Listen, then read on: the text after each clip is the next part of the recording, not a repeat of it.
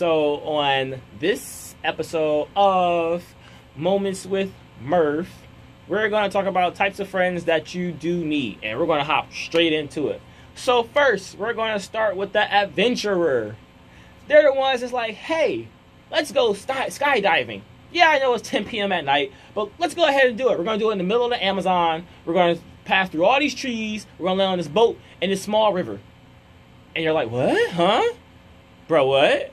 Like, you're kind of confused, but, you know, it, they might not be that extreme, but they just might be. Because they have this this giddy up in them. Like, they're ready to go do stuff. They want to go move around. Like, they're just, they're eager. And there's nothing wrong with that at all. Like, they're the ones who really, you know, pull you out of that comfort zone. Like, they want you to experience new things. Because some of us have similar habits, common habits, consistently, and it's, it's kind of hard to break it because, like, you know, maybe you're used to drinking henny on a Saturday with friends consistently, right? That's just something you commonly do. You don't want to go nowhere, you don't want to do too much, and you might be one of the people who are on a budget, and that bottle that you split with your friends and you just have a good laugh, there's nothing wrong with it. But maybe you find somebody who says, "Hey, let's go take a walk through a national park." You know, let's go do something different. So it's like they're giving you the opportunity that's still in your your means. They're staying within your budget, and you just see something different. Cause like, if you guys ever taken a walk through a national park, it's so fun. Like long trails. That might scare some of y'all. It might scare some of y'all. But remember, get your steps up. Get your steps up. But long trails, trees around. Sometimes they're broken. It actually looks like a beautiful sight. You know, nice river bays. Sometimes you see a waterfall. Sometimes maybe you're in a high mountain and you get to look over where a freeway is. Ah, there's so many different like sceneries. Find you a trail, but they're the ones to make you do something a little different. You know, maybe you you're, you're used to staying at home with your pool, so you feel like you got all the comfort you need. You don't really want to do too much. You're like, well, I'm pretty set, and I like swimming, and I got a pool here, so why am I leaving? You know, they're the ones that get you out your comfort zone. You know, maybe you guys take a walk through East Cleveland or the south side of Inglewood, or East Atlanta, or south side Chicago. Like, you know, some real colorful cities. They get you to see something different that you might not have been you might not have been exposed to. And you're kind of like, wow, okay. This is this is different. This is um this is something I yeah, okay. You know, only thing is, you know, if you want to go back there again, but the whole idea is the adventure is going to be able to pull you out of that that real, you know, your comfort zone. And that's that's really what you want to do. You want to try something different, you know. They're the ones who have you try different foods. Maybe you're just used to eating chicken or eating, you know, seasonless macaroni, you know, and then they give you something different. You're like, wow, never would have known, you know, never heard this Caribbean food, never heard this Jamaican food, but now you have. They're allowing you to do something different and you kind of get to you get to learn something about yourself because like if you do something once and you don't like it well then you know you don't like it. But if you've never done it before then how do you know if you do or do not like it? So the adventurer is great for helping you express and learn something new. Leading into those people you got the people who work out. And this can be them. Hey let's get up at 6 a.m run five miles do a thousand push-ups do a thousand sit-ups do 500 burpees, and then that's just the pre-workout to get you ready for the workout. And you're kind of like, what? What? I'm, I'm sorry, what? We're going to do, that's, no, no. Now, again, they might not be this extreme, but they could be. and the whole thing with the, the workout partner or the workout friends, like, they're the ones who want to get you in shape if you are not in shape and that's on both ends. You can be very, you know, obese or you can be very skinny. But there's that middle area where you can be considered healthy. And that's what the workout partner wants to do. They want to make sure that you are maintaining a good weight, that you're eating right, and that you're eating the right things. Because some people think just because they eat, you know, bread here and they eat some vegetables and they eat fruit and they eat a lot of you know protein, but they'll overdo it. Like no, just because you eat right, that doesn't mean eat right away and often. That means eat when you're supposed to and eat when you're supposed to eat the right things. That's that's the issue. But the workout person, they really care about your health. Like they want to see you in the best possible condition because a lot of them understand the effects of having a poor health. And one of the things you always want to do is make sure you take care of your body. You only got one body. Why waste it? so they always want to make sure that you're in shape, that you're doing the right things, that you are you know, you're moving around. You want to stay. You want to stay moving because a lot of like a lot of my friends, they they like to be very immobile. Like, why are you laying on the couch with, you know, some Haagen Dazs? Like, get up. And I've got the one ice cream. It's I, I, think it's a gelato or something, but like if you look at it, you would think it's hair care products. And I remember when the first time I seen my cousin eating that, I'm like, why are you eating hair gel? Like, what are you doing? No, this is ice cream. No, that is cl- that was clearly on the shelf. Like, why? Are, You know, it's just like it's little things that kind of confuse you. But the workout person, they understand the importance of health and they're going to beat it into your head. They're going to make sure that you understand that, hey, what you're doing is unacceptable. Get up. Let's get moving. Let's do something, you know, fun. You could say it might be, it might not be fun to you, but after you start working out, you're like, you know what, this, this is fun. You know, you get to improve your body. You look good. You feel good, and guess what? Then you're gonna, you know, do more outside of just working out. You like now you're up. You know, you're not sleeping until 12 p.m. like some of y'all do, and now you're getting up at seven and eight. You're like, man, I ain't got a workout in. I'm I'm energized. I can really maximize my day. Like, think about it. If you can put, let's say, 16, 17 hours to work of like not just like work work, but you know, doing something effective and productive versus sleeping about 12 to 13 hours, like if your sleep time is equivalent to your productive time as far as being awake, there's an issue there. There's really a problem. But again, you know, this is what the workout partner is for. And isn't it fun, like, if you enjoy working out and you have somebody to do it with you? Like, I know it's kind of hard for some of us to find people that want to work out and that does it consistently and correctly. Because some people, they just really waste your time. And you gotta just kick them to the side.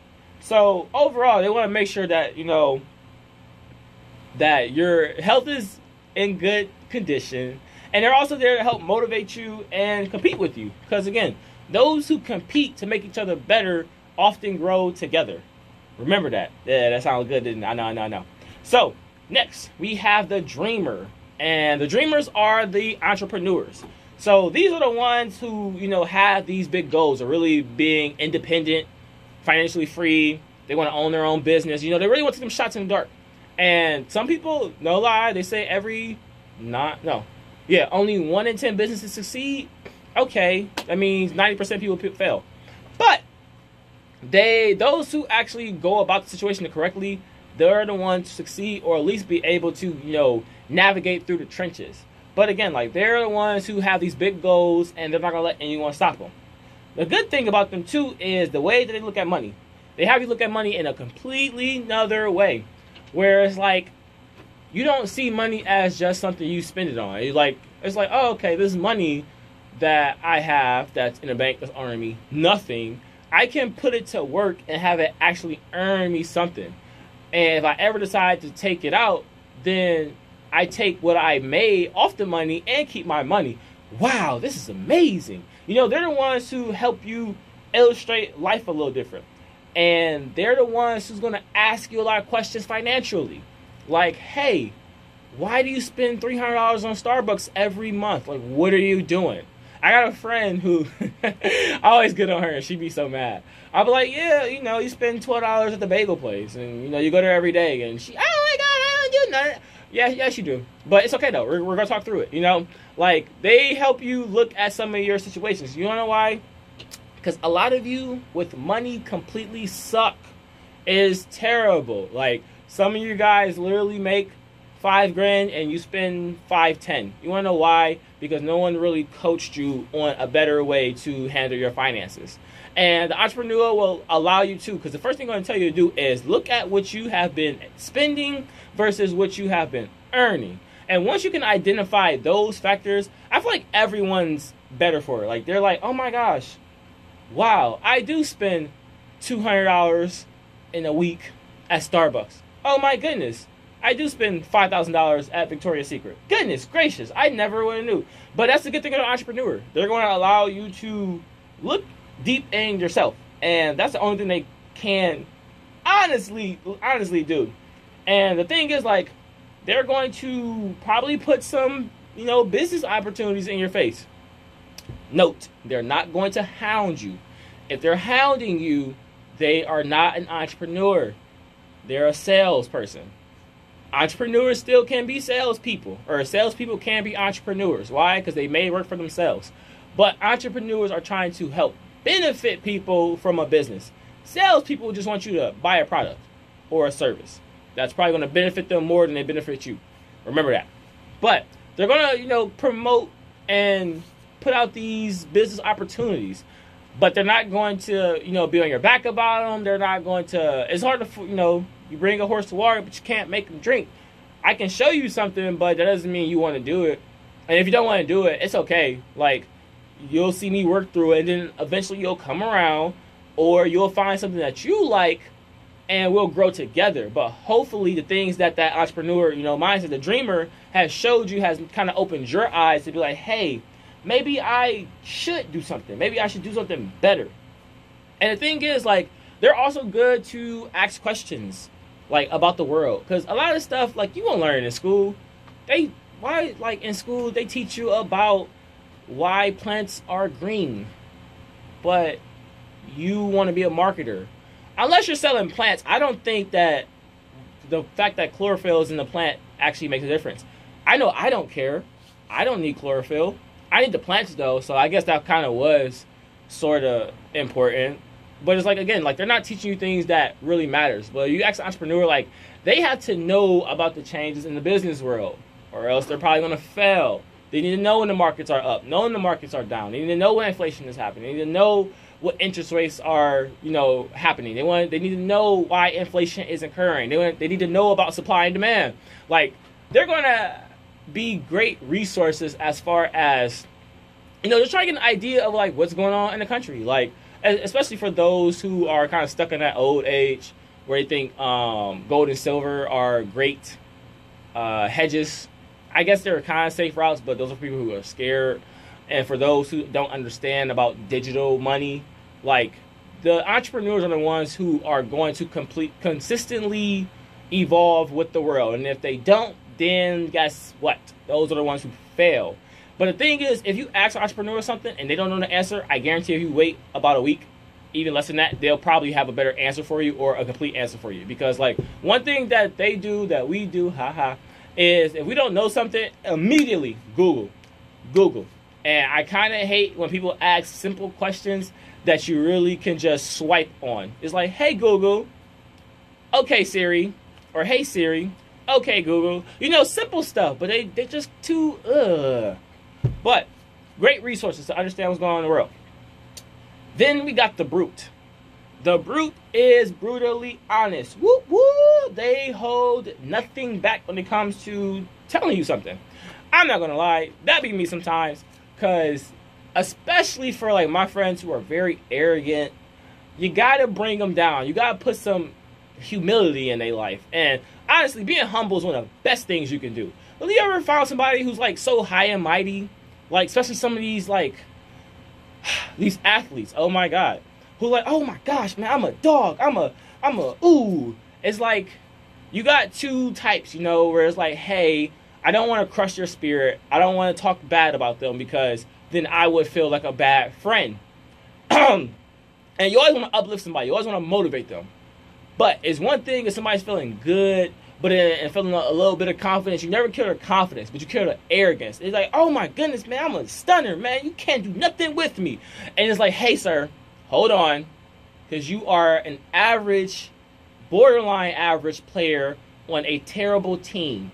Are you sure that you are good? Are you sure that you're the star that you're you're thinking of? Like people get one catch in a game, or they make one basket, and there's been like eight games in the season, and they're finally the stud player. It's like, sir, hold on, y'all were getting blown out by 30, and the coaches were just doing a rotation. So you got an opportunity to show what you can do against lesser opponents. That doesn't count, you know. But these are the ones that you need the people to be brutally honest because sometimes that actually helps build you up. So this person is going to be the one who's always 100 with you. They're probably not going to always be it because sometimes you got to evaluate the situation. Like, if a person's always crying and sad, like, you kind of get annoyed and you got to favor a little bit to what will kind of make them a little happier, but they're not the ones to lie to you. Like, completely lie to you. Like, they, they might exaggerate a little situation, but overall, it's going to be honest. For simple fact is, that's what you need. Some people will not be honest with you. They will not tell you the truth. They will what's the word? Compulsively lie to you to make you feel better. Especially if they feel like if you're immature and you're going to get mad at somebody who's giving you constructive criticism, you need to grow up. This is not okay. Especially for all y'all that's in your 20s and are entering the corporate world or entering life as it is. You better understand how life is because life is a lie, but it's the truth. Because if you live by certain actions and you think things are okay and no one has the guts to tell you the truth, then guess what? You're probably going to get burned in this life because, again, things happen. But the thing is, too, like they won't sugarcoat nothing. Like they want to help you.